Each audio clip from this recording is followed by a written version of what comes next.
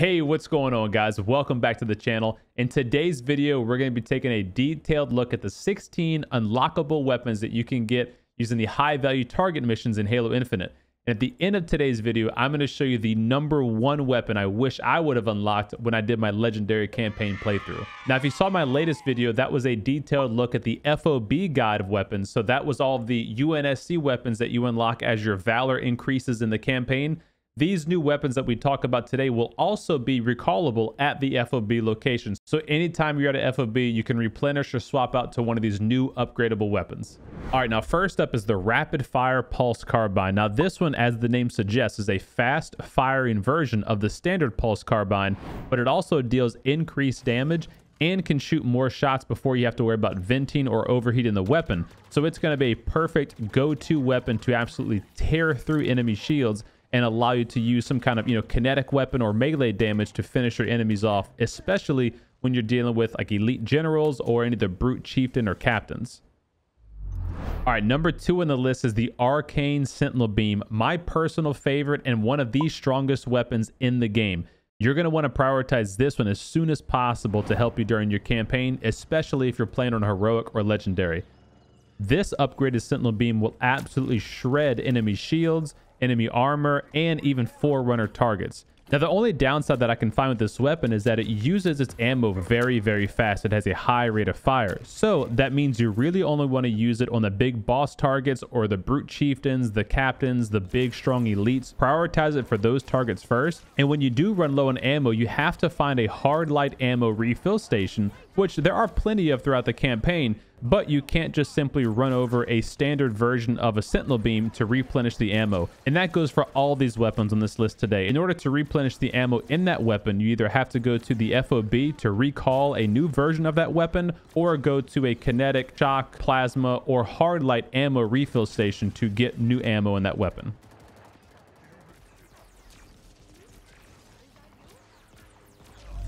All right, number three on the list is the Duelist Energy Sword. And honestly, I was expecting a bit more from this one. It does a little bit more damage than a standard energy sword, and it uses less energy per swing and per swipe, which is good because it lasts longer. But if you use it on a legendary playthrough, honestly, you're, you're going to get destroyed with it because up close and personal is not really where you want to be on legendary difficulty. And you'll find as you play through the campaign, eventually you're going to get a sword that's even better than this one. The only thing that would have made this sword the go-to weapon, in my opinion, is if you could actually dual wield it. Because when I saw dualist Energy Sword, I was thinking, oh my god, I'm going to have two energy swords. But sadly, that turns out to be not the case.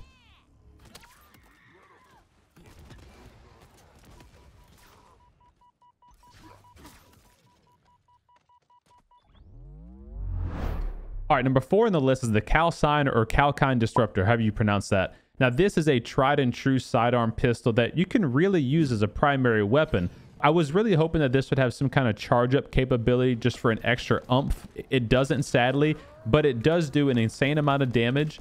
It shreds enemy shields. And because it's a disruptor, it has the added benefit of the electrical dispersion effect on the third shot. So that means that it's really, really good against enemy vehicles. It can disable ghosts, brute choppers, banshees, tanks. I mean, you name it. This is a really good weapon all around. All right, number five on the list is probably my least favorite, the Unbound Plasma Pistol. Now, I personally am not a fan of what they did to the Plasma Pistol for Halo Infinite. It just seems a bit more underwhelming this game, and the fact that it no longer disables enemy vehicles with the charge-up shot just kind of left me wanting a little bit more. Now, yes, the Unbound Plasma Pistol does do more damage on its single shots, and it does have a pretty neat feature where when you charge up the Unbound Plasma Pistol, it no longer fires a single large tracking burst. Instead, it fires a basically shotgun plasma burst where it shoots about six or seven small plasma shots, but they do not track the enemy. So you have to be really close to your target to hit all of your plasma shots. And when I was playing on Legendary, it wasn't even strong enough to take out an Elite Shield. So it's not like you can do the old Plasma Pistol BR combo or, you know, Plasma Pistol Mark 50 pistol or Plasma Pistol Commando. It just felt like it was lacking something. And number six on the list is the Stalker Rifle Ultra, and this is a really, really good go-to weapon, and it's pretty easy to obtain as well. What makes this one different from the standard Stalker Rifle is that it no longer has an additional zoom capability, but it can shoot many, many more shots before you have to worry about venting or finding new ammo for the weapon. The only downside, honestly, is that it does do a bit reduced damage. So if you're playing on, say, Legendary, for example, it is going to take a few more shots than you would anticipate to take out enemy targets, even targets that don't have shields. It's going to take a few extra headshots in some cases to take them out, but it is a very consistent and good all-around plasma weapon to keep. The M41 Tracker Rocket Launcher. Now, this one is a power weapon, so note, in order to replenish the ammo on this weapon, you're going to have to go to FOB stations or find one of the very, very few power weapon ammo resupply stashes throughout the game. Now, what differentiates this one from the standard variant is, of course, it's going to do significantly more damage and a bigger blast radius, but it can lock on and track any target. So it's going to absolutely dominate anyone you go up against. If it weren't for the hard time replenishing the ammo in this one, I would say this is a must bring for any campaign mission. But because of that, I think it's more ideal set against taking over enemy FOB stations or enemy banished outposts because you can go to an FOB station, get one of these bad boys, even give a couple to your Marines, and then go attack that compound, and you're sure to demolish the enemies there. Number eight on the list is a perfect go-to weapon, the Riven Mangler. This upgraded kinetic weapon variant is going to shoot multiple bolts with each pull of the trigger, so it's really good at knocking off enemy helmets and taking out unarmored targets. Number two, it has a faster bullet velocity than the standard Mangler, so it goes further distances before it starts to arc and hit the ground. And number three, it has a higher ammo capacity, so you can really stack up on ammo on this weapon and take it long distances during your playthrough or during your campaign missions, almost never running out of ammo before you find another kinetic ammo box.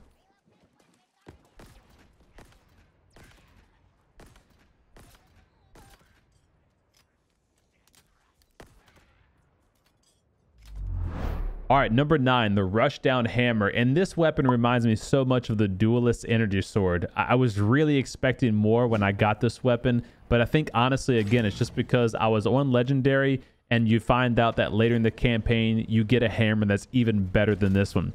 Now, it's not to take away, this is a very, very powerful weapon, and it's really good for doing fun things like launching warthogs really far distances. And if you cheese the game properly, you can use the grapple and the jetpacks to really send your Spartan flying throughout the campaign. I'm sure you've seen a couple of the viral clips or videos on YouTube about people exploiting that. So for that point, it's really, really cool. It's a very powerful up-close weapon, of course, and it uses less energy per smash than the standard hammer. But I would say if you're using this weapon just for memes, wait till later in the campaign. You're going to get one that you're going to love even more.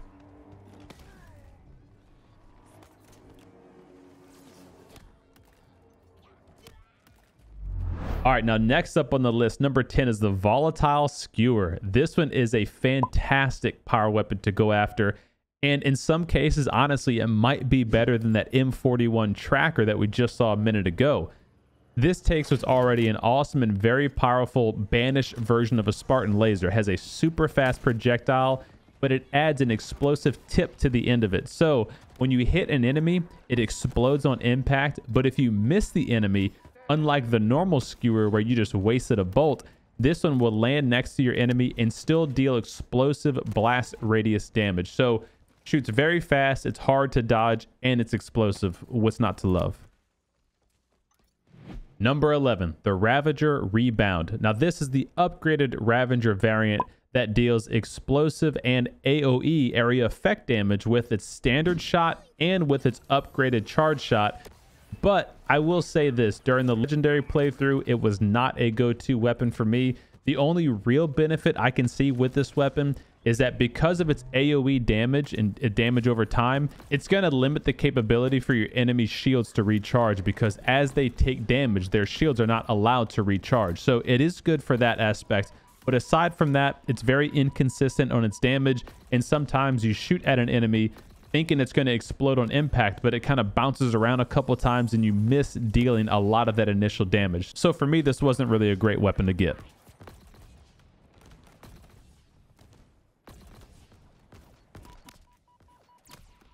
Number 12, the ultimate boss killing weapon, the Pinpoint Needler. Now, if you're familiar with Halo, you know the Needler is a force to be reckoned with. It's basically a Covenant version of a shotgun without dealing instant damage because these needles do have to travel to hit their target first. But if you get enough of them to hit your target, they deal a combine explosive damage, which is one of the highest damages you can get in Halo right now. Now, what's really cool about this pinpoint variant is number one, it's kinetic ammo, which makes it, again, very, very easy to find replenishable ammo for this weapon.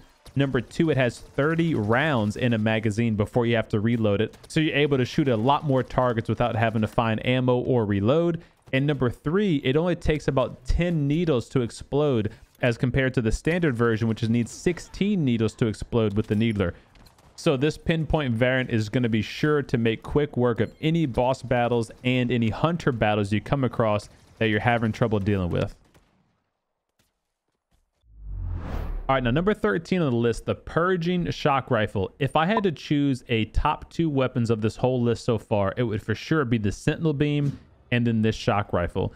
The Shock Rifle is the Covenant or Banished Sniper Rifle, and it deals obviously shock damage, which means it's really good against shielded and unshielded targets. Now, what makes the Purging Shock Rifle better than the standard variant is number one, it deals more damage. Number two, it has more shots in each magazine. And number three, it actually shoots more shock bolts with each pull of the trigger.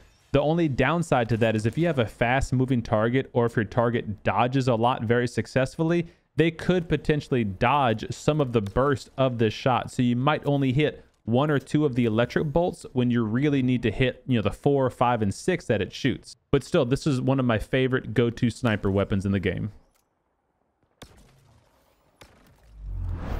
Number 14 on the list is the backdraft cinder shot that you get after you beat an incredibly strong pair of hunters. Now the cinder shot is basically a forerunner grenade launcher. So it shoots a hard light grenade with each pull of the trigger, but it does have a very, very unique alternate fire mode.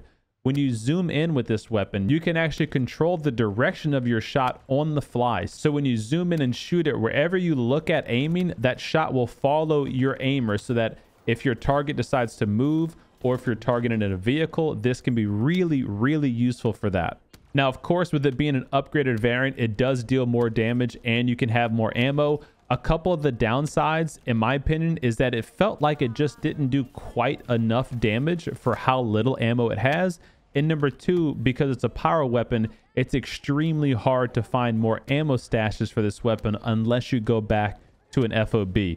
So definitely not one of my go-to weapons, but still a fun weapon in the sandbox nonetheless.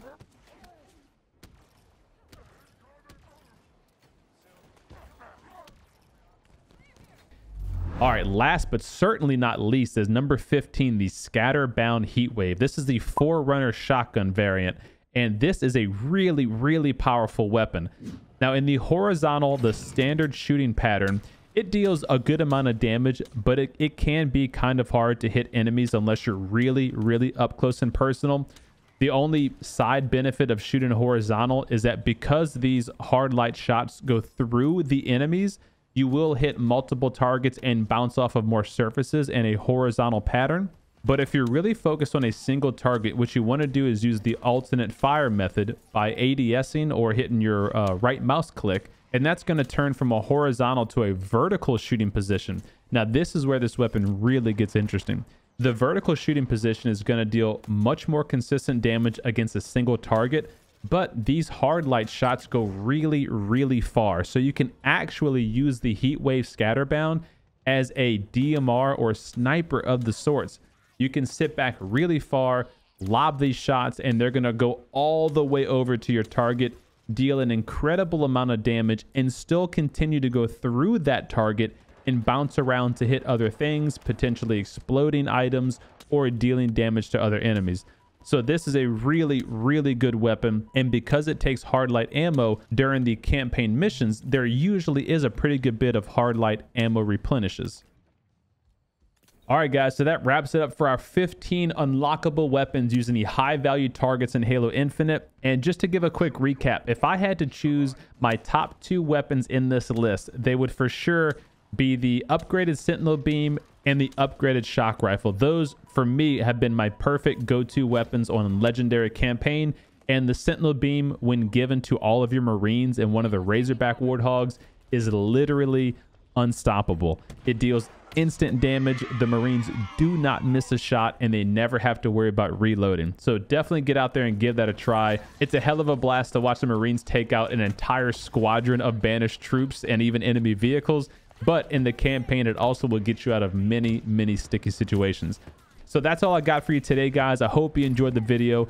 If you did, be sure to give it a thumbs up, share it with a buddy, get subscribed if you're new to the channel. We'll have some more Halo guides and Halo content coming your way my latest two Halo guides were the FOB weapon guide and my ultimate Halo settings, giving you the best visuals and the best FPS for campaign and multiplayer. So with that, guys, I hope you have a fantastic day, and I'll see y'all in the next one. Take care. Peace.